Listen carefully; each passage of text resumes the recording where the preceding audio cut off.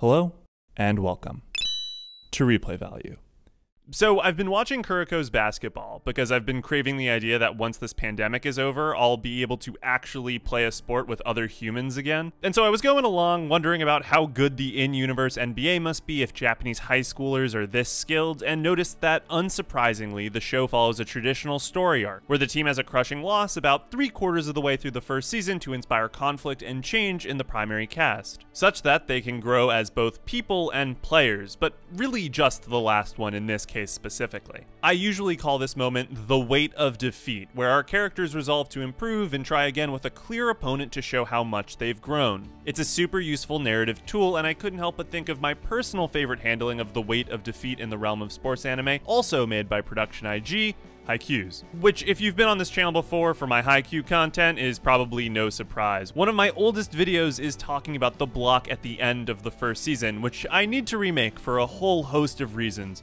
Pronunciation but I'm waiting for a certain moment in the manga to be adapted before I go about doing so. Haikyuu's Weight of Defeat is not just a simple tournament exit, it is the designing principle that informs most of the second season from the skills that the players need to acquire, heightens the thematic rival in Oikawa and Seijo, raises the stakes regarding the seniors who only have the last season to perform, and inadvertently creates a lot of the internal conflict the team undergoes from Hinata's ace ambitions, Tsukki and Yamaguchi's relationship and roles, and of course the fight that leads to to the new Freak Quick. In other words, it's arguably the most important thing that happens in the entire storyline, and that is why Climber is my favorite Haikyuu theme. Because it not only captures the weight of defeat's sadness, but also the triumph that follows, in addition to having an incredible song and plenty of symbolism and thematic meaning to accentuate its tonal cohesion to those aspects of Haikyuu I find so intriguing. Obviously, a big part of why I enjoy this ED is because of the song. Climber by Galileo Galilei is able to balance the exciting rock instrumentation that you find in a lot of the opening themes with a contemplative and soothing vocal track that at times feels like it'd be perfect with a melancholic piano melody. That dichotomy isn't lost in the visuals either. There are plenty of cool color palettes here, and it makes the climax of the song where the vocals and instrumentation unify in their tone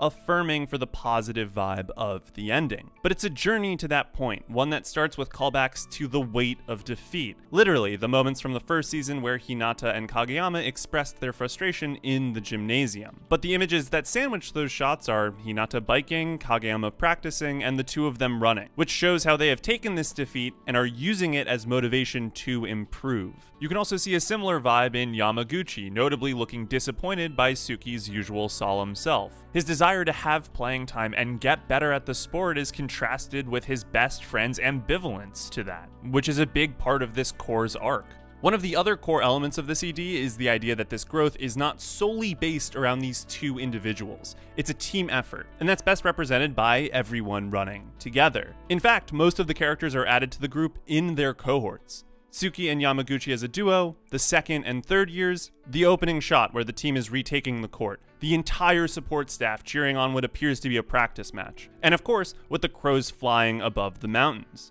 That mountainous imagery is present beyond more than just this moment, with the pan down to Hinata biking the hills between his home and the school, the ending image, which we'll get to in a moment, and the shot of the big opponents and rivals, friendly or otherwise. This might not seem like a mountain at first, but the pan up certainly ties into that ascendant structure of failing and then achieving, given that it builds to a shadowy Ushijima from the base of Oikawa, the opponent who toppled them and who they'll have to overcome to even have a shot at Ushijima, along with a bunch of other opponents. From the training Camp Arc, who are also rivals to defeat, especially Nekoma, ties into that aspect of the theme. Even without the tie-in to the mountain imagery in my favorite Haikyuu opening,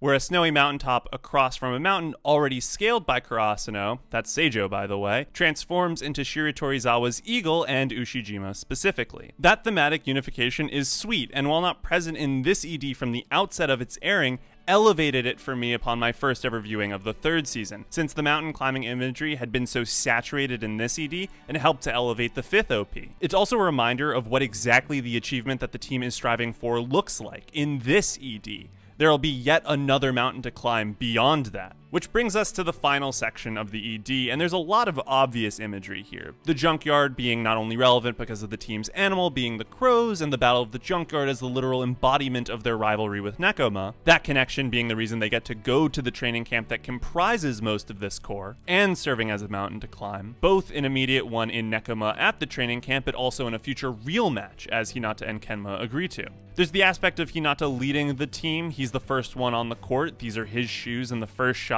he breaks from the pack and leaps, Hinata is our protagonist, and he's also always pushing himself, and by extension, the team forward, and in that way serves as something of a pseudo North Star for the team to guide themselves. He is, after all, the one they all look to as he becomes brighter and brighter approaching the sun. In the show, they talk about how they've put too much weight on the Freak Duo's shoulders and need to improve themselves the embodiment of victory as the crow's feather, the great continuity of motion from that to the final shot with its awesome visual composition. This ED goes the full spectrum from crushing defeat to achievement so fluidly, and puts a sharp focus on expressing that it's the entire team's hard work that is a significant portion of that transition from failure to winning. The last bit I want to mention are the 10 crows at the beginning, because 10 is an important number in Haikyuu. It's the Little Giants number, Hinata's, and it's also the number of players at the start of the series prior to Asahi and Noya's return to the squad. But frankly, that seems like a bit of a stretch, and it's probably just 10 because of that legacy element uniting Hinata and the Little Giant. I'd make the case that these two crows in the foreground are Kageyama and Hinata for that reason, and also because they're the main characters, and it's cool that it's present here because that's Hinata's initial motivation